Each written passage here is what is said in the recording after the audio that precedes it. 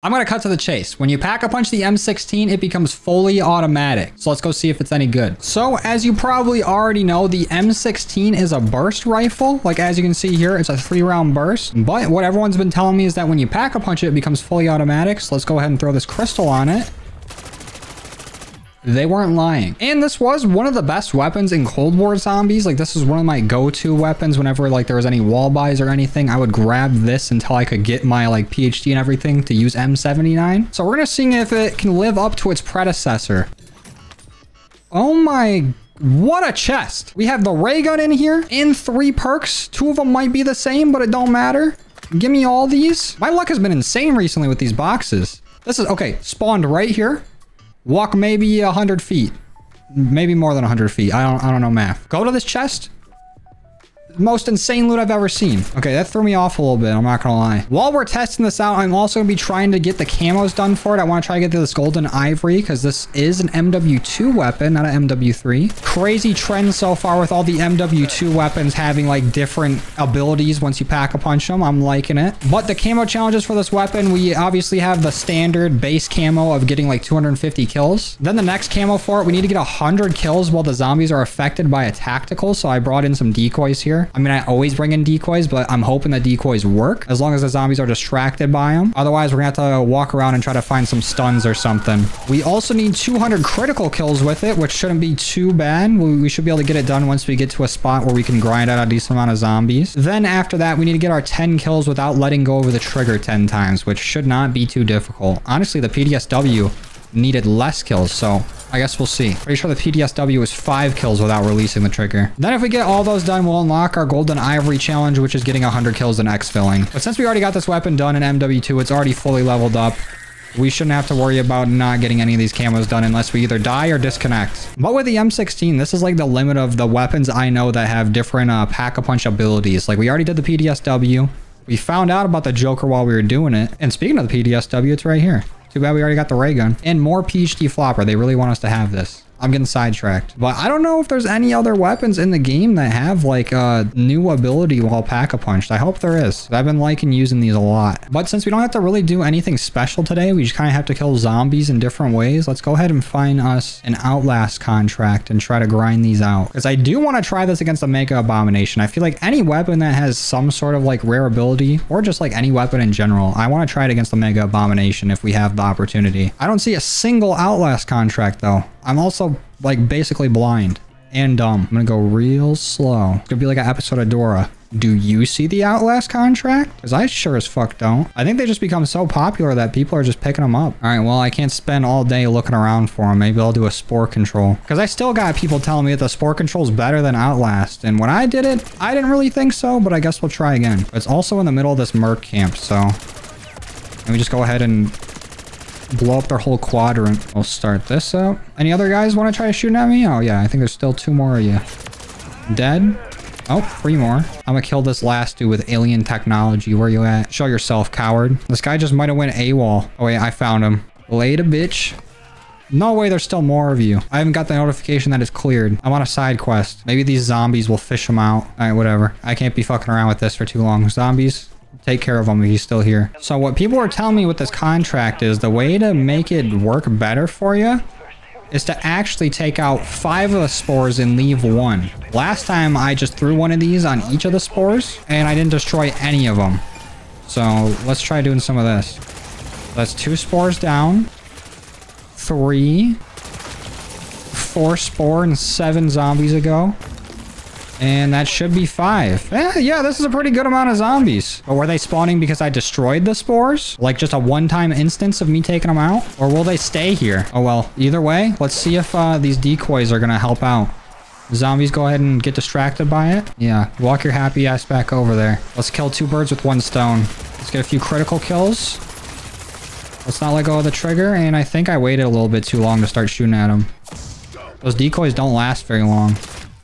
I can relate. And now that I killed that huge horde, I see one, two, three, four, five, six, seven zombies. That's so lame. Y'all think this is better than Outlast? Like, really? What am I doing wrong here? I don't like this contract. I'd rather go all the way to the Dr. Jansen mission and farm there, which is what I might do if I actually cannot find any contracts. Yeah, you know what? I'm, I'm taking this one out. I'm probably doing something wrong here, but I can't get this going.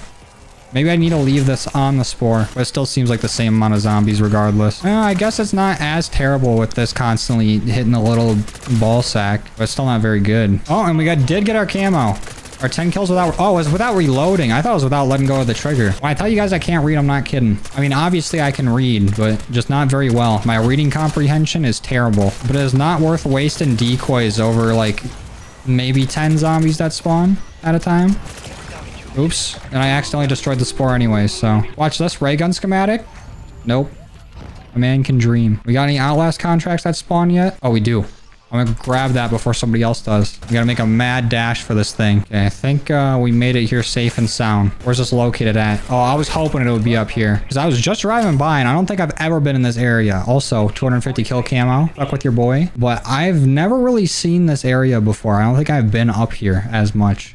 But this is also a really good area because we got one of these. So that means we can constantly get our decoys. This is going to be perfect for getting this camo. We should get this knocked out easy. Let's start it up. I'm going to do the classic strat of getting this up to like 70% and then not touching it. We're edging the contract. But I've said this a few times towards the end of the videos, but I'm sure some of y'all check out before then. But I just want to say thank you guys for all the support since this games came out. It's been out for like a little over a week at this point, almost two weeks and we've already went up to 194,000 subscribers. So I really, really do appreciate you guys. Thank you so much for coming by and, you know, watching the videos, chilling with me in the streams, all that good stuff. It really does mean a lot. So I appreciate y'all. And we still aren't getting like a crazy amount of spawns right now.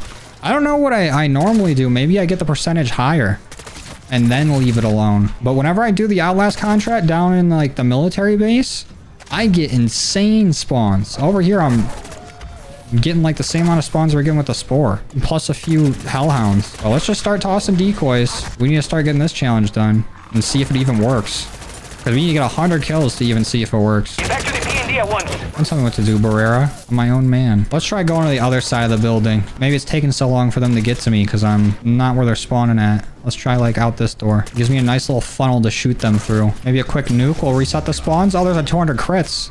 So we do just need our tactical camo. Okay, there's no way I haven't gotten 100 kills with my decoy yet.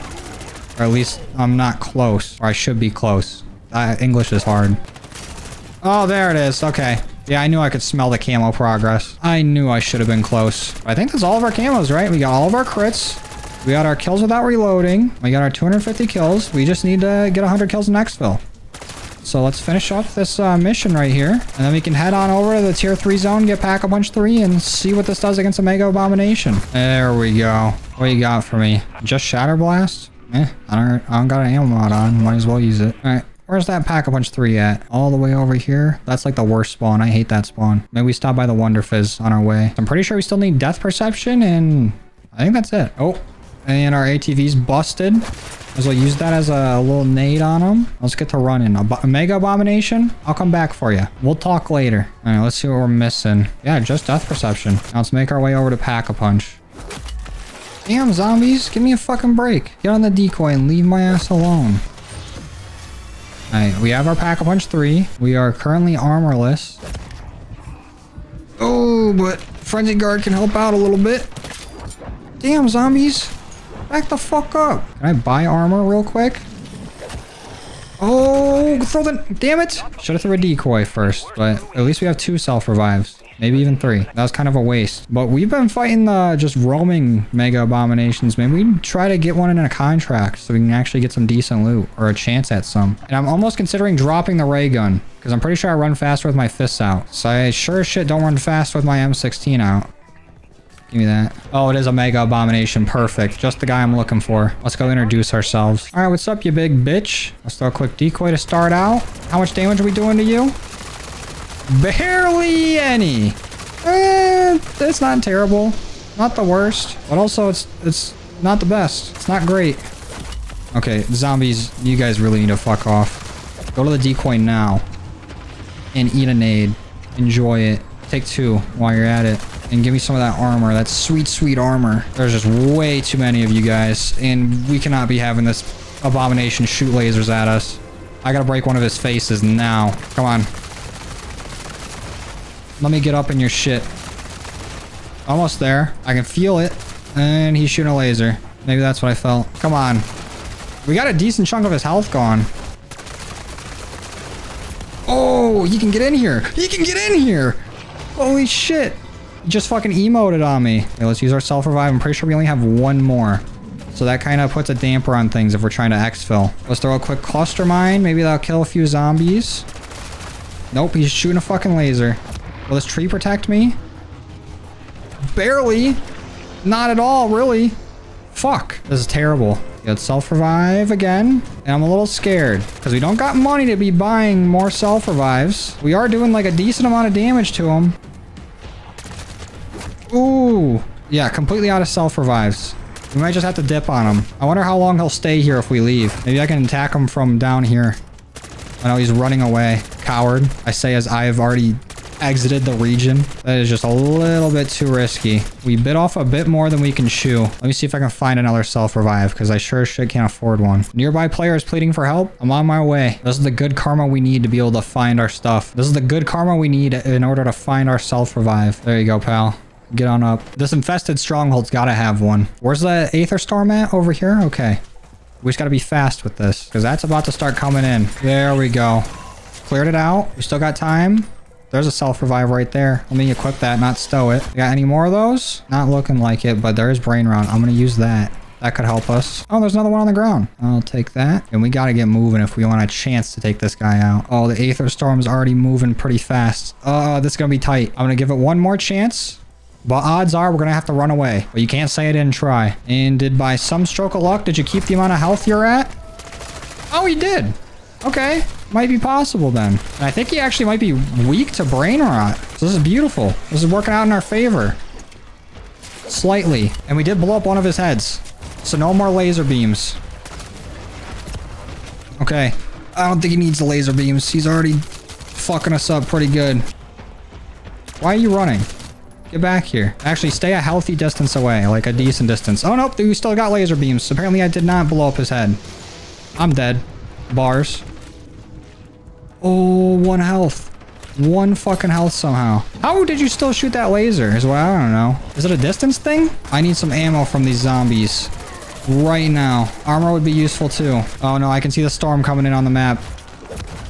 Oh, and there's our first down since coming back to him. Had a quick self-revive. Found some ammo on the ground. Finally. We can still do this. Come on, you piece of shit. And he's shooting his fucking laser again. Oh, he's trying to run away, but he can't. Coward. You stay right there.